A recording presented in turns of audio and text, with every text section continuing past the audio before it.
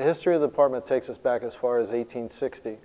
1860, obviously before the Civil War, was a, a time of not as organization like you see now. It was more or less uh, un, untrained uh, bucket brigades of just people of the town trying to do good to save themselves from fire. Uh, as it progressed on, the department was organized in 1872, which even still at that time, uh, it was a formal organization, but it was still left a lot to be desired as far as the formal training and so forth.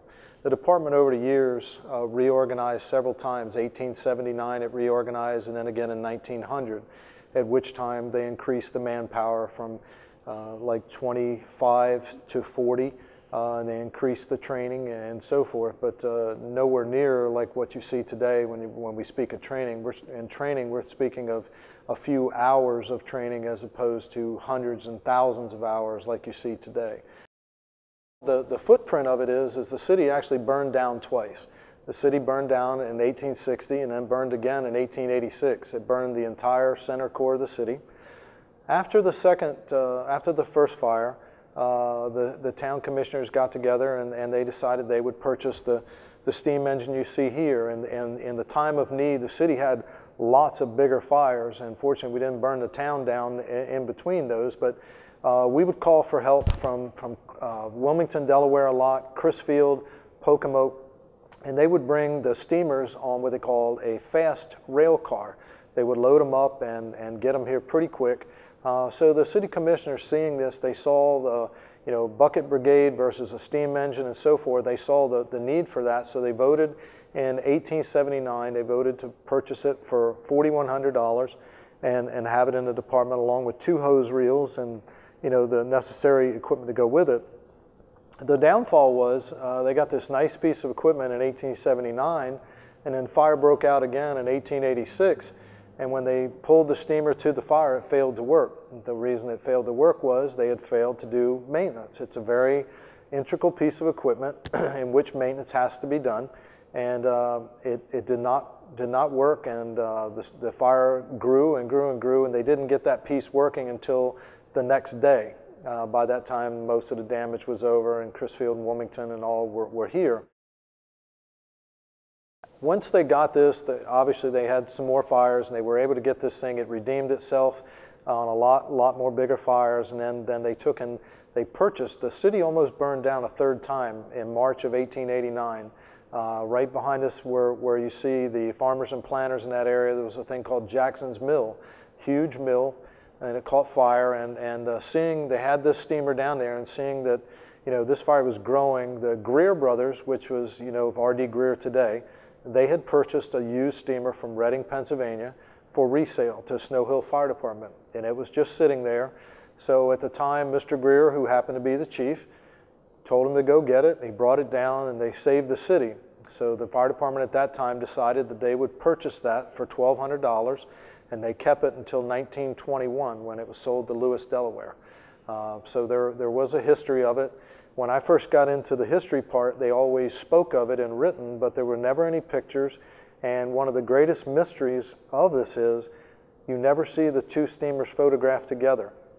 You can look at any of the pictures we have here, group shots, they're never together.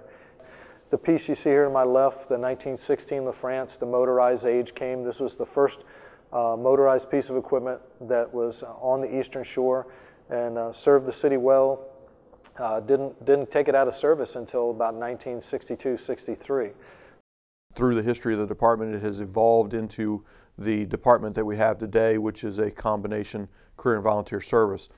Um, many significant events in the history of the city of Salisbury has kind of played a part in transforming the organization into what it is today based on needs and what our citizens uh, require of us as a service. We are a fully um, we're a full service fire department that includes fire, rescue, emergency medical services, and technical rescue to include hazardous materials, confined space rescue, trench rescue, uh, high angle rescue, uh, swift and flood water rescue.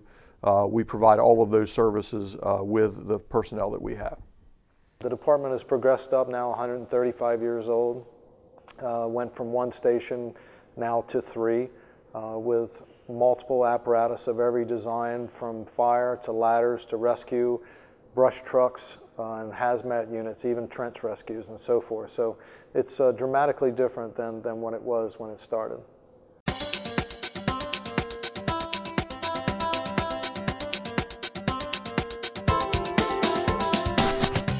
David Haynes, acting lieutenant with the uh, Salisbury Fire Department and uh, instructor with the Maryland Fire and Rescue Institute. And we're here today doing the uh, annual SCBA research for the Salisbury Fire Department. All of our members go through an annual recertification with their SCBA, including uh, live fire evolutions where we go in uh, wearing full gear in BA. They do an evolution where they knock the fire and do a fire attack upstairs, and they do a search and rescue evolution downstairs.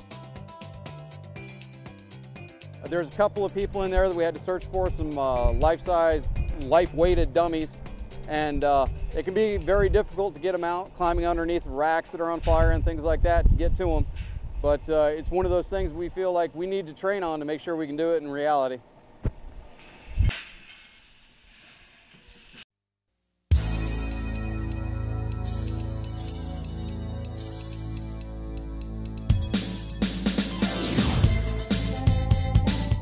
Today was the ladder exercise portion of the Volunteer Fire Academy uh, recruit class. Uh, we did uh, everything from uh, going over the ground ladders to what they are, to how to throw them or how to place them, how to climb, how to climb with tools, how to uh, extend the extension ladders. Uh, we went over some techniques on rescuing a victim from, the, from a window, from an elevated position. and then we finished the day up with setting up multiple ladders and having them climb from one ladder up, come out of a window, down a ladder, then up some other ladders and just uh, worked around the tower, the training tower that we have. Yep. Salisbury University, Carruthers Hall, it's in the process of uh, demolition. So they, they graciously donated to us. Uh, obviously, we can't, you know, go to normal businesses, normal hours, so this is the best time. These are doors they're no longer going to use. Uh, we're able to come in here and, and have multiple doors to practice on where you may only get to do it once every six months. We're able to do multiples right now. What the, what the crews are doing, it's called through the lock method. They're taking uh, the doors that obviously have been donated here at the university, they're putting what's called a K tool over it. They take and drop the K tool over and lift it. It basically pulls the cylinder, which is uh, screwed into the door, they pull it out and they, they replicate the mechanism for tripping it. We have tools we just go inside, trip it as if we had a key. Uh, it's called through the lock method. It's uh, much more effective, you know, than if we took an axe or anything and busted it down. We can just pull the cylinder. Cylinder like that is less than twenty dollars to replace, and the door stays intact. We just pull that, reach in, trip it. Nobody knows we're ever there. Okay. Sometimes we can even screw it back.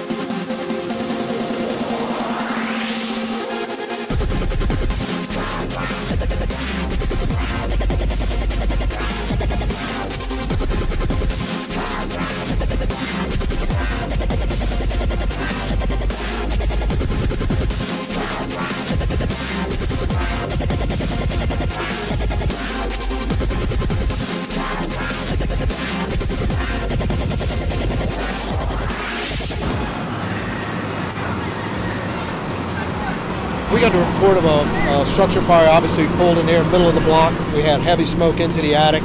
Uh, obstacles, we had a van parked right in the middle of the street. Uh, had to not occupied. We had to find out whose it was to get the engine in. Uh, heavy involvement into the attic. It's a T-style, old-style turn-of-the-century house. Uh, once the crews got the lines in there, encountered heavy fire. It was banking down the stairways at them. The truck crew was able to get in on the uh, D side. They were able to vent multiple holes, get some of that load off them. They had a fire break out in the rear. They were able to knock that down. They had to come down and then get into the front side of the house and knock that. They got it at right the right time. The fire had broken through, had exposure to the house here on the D side. Uh, we were getting ready with a two and a half to, to knock it if we had to. But they got water on it just at the right time. Right now they're just chasing fire. The report was they had a maintenance crew here this afternoon and what ended up happening, apparently they saw sparks in the wall at that time and didn't call us. So we're letting the fire marshals do that. They're just arriving on scene. Uh, total of five people living in the residence.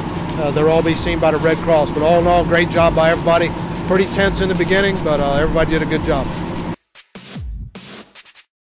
While some would say that we've had an economic turnaround, um, it, we're, we're, still lagging way behind as it relates to the turnaround, and, and, the, and the, the recession is still uh, very real for us. As, and the economic conditions really haven't changed. They've stabilized, but they haven't changed to the point where the city is, um, in my opinion, in a position where they can fully fund 12 uh, brand new positions.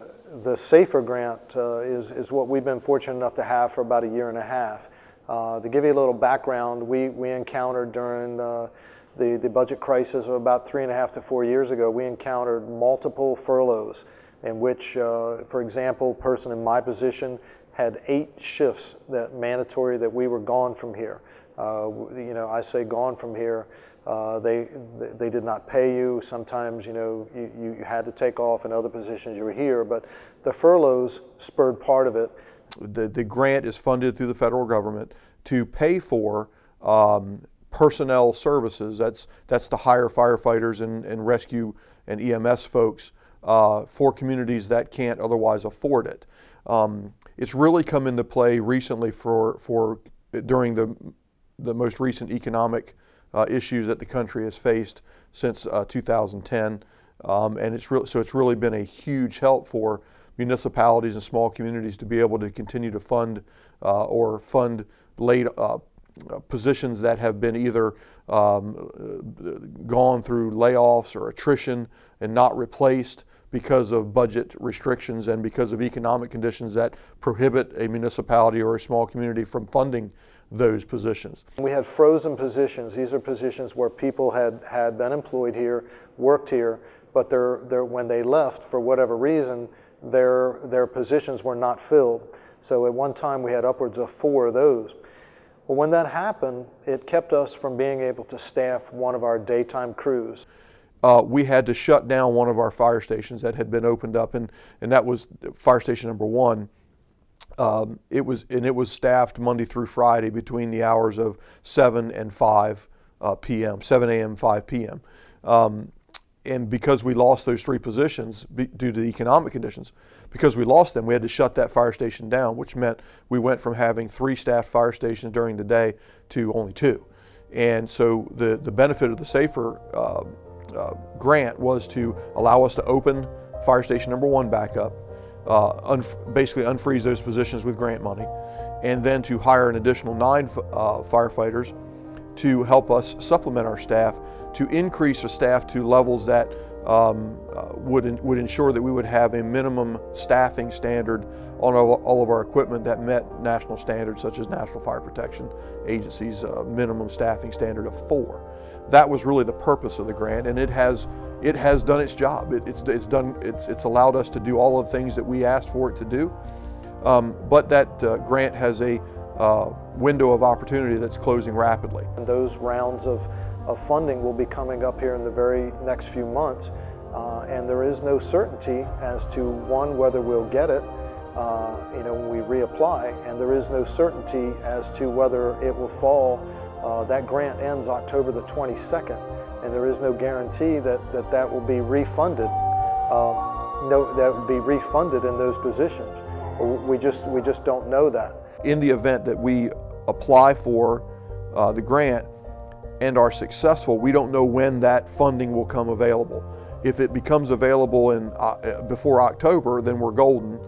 But if, it, if, if we don't get awarded our grant until January or February, there's a gap there that's unfunded, and therefore all those firefighters would then go away if they weren't funded by the city. In the meantime, we're planning now as to what we will do, you know, how we will fill those gaps, whether we'll go back to the system that we had before and just keep our fingers crossed. But um, the men and women of the department are doing more now than they ever have. Um, they're, they're doing it to, to keep the boat afloat, I guess you would say, and to serve the citizens. Uh, little did I know when I came here 35 years ago, you only had in, in, the station I worked in only about 500 calls, 525, and the ambulance calls were roughly only about 2,000. And to see it now at about 9,000 and, and then 3,000 some fires, you can only wonder where it's going from here because the, the town has grown into 33,000 people. It balloons in the daytime for the shopping or whatever the event is to about 110 to 120,000 people that we serve.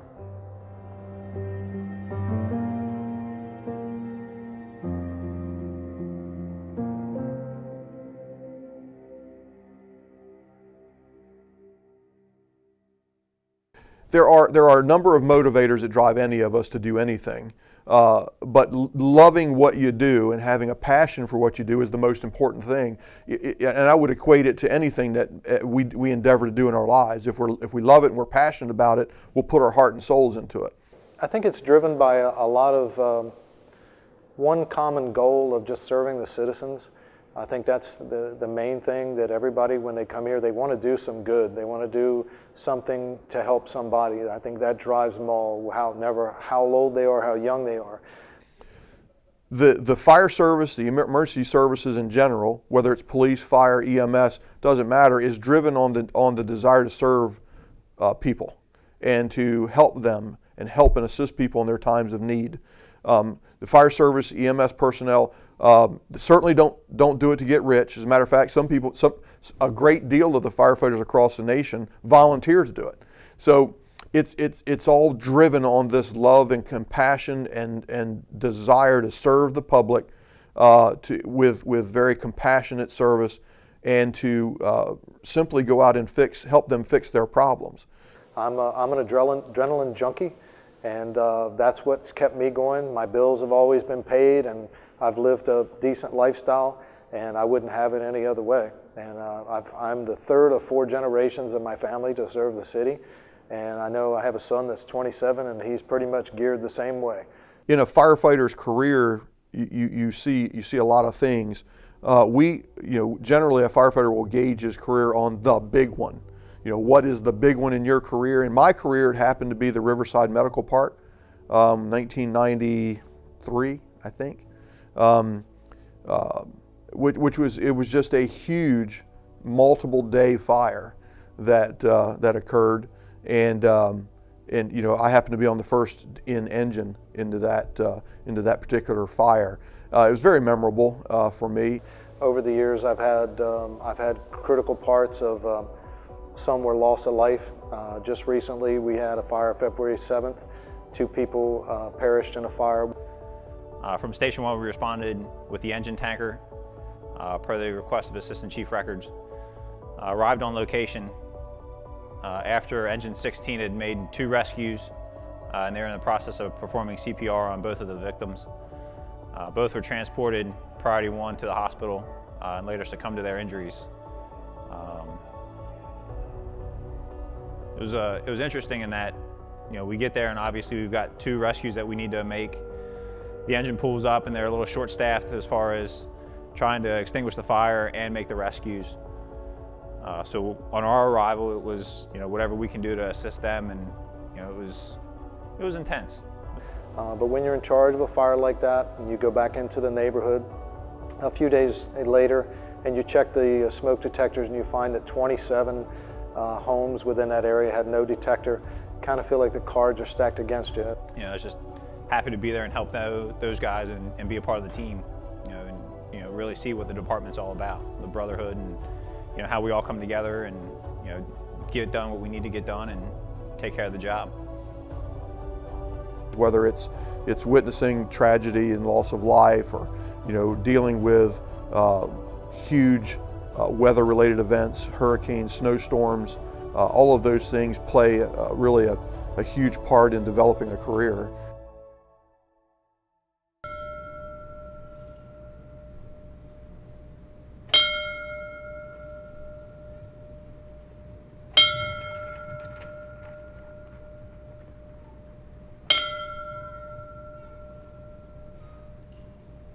It's a very exciting time for the Salisbury Fire Service, and, and really let me tell you why.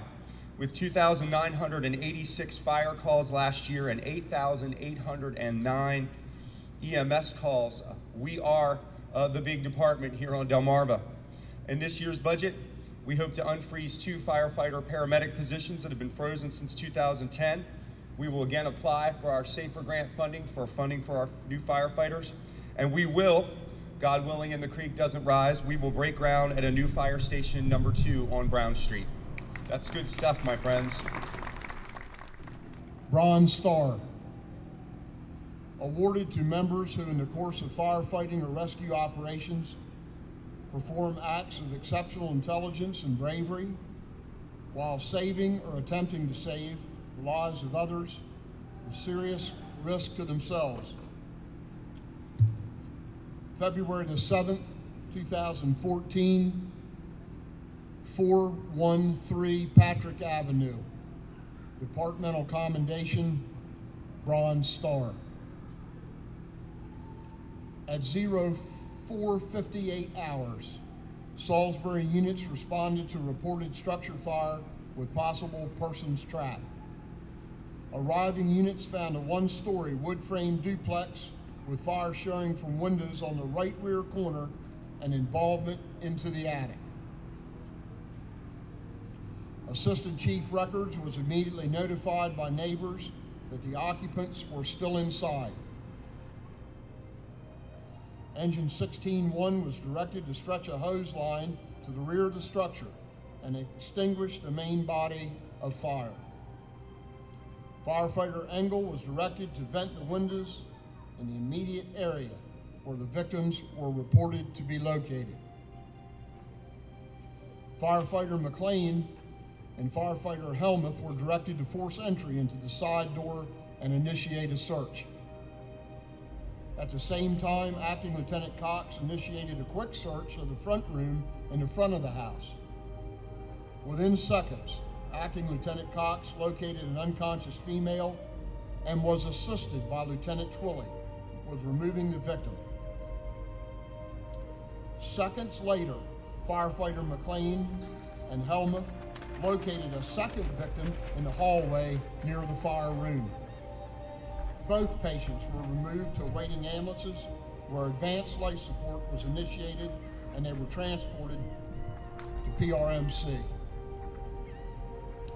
Despite the heroic efforts of these brave members, the male patient was pronounced dead at Peninsula Regional Medical Center.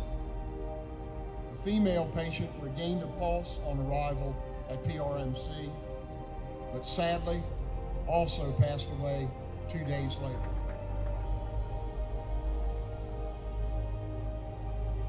Acting Lieutenant Cox, firefighter McLean, and firefighter Helmuth entered the structure without the immediate protection of a hose line. Their quick actions with the assistance of Paramedic 2, Paramedic 16, and Paramedic 16-1 resulted in the successful removal of both trapped occupants within minutes of arrival. Although both victims succumbed to their injuries, the quick actions of these members gave the family great peace in knowing their loved ones received a fighting chance at life. Their efforts bring great credit to themselves, to the fire service in general, and especially to the City of Salisbury Fire and EMS.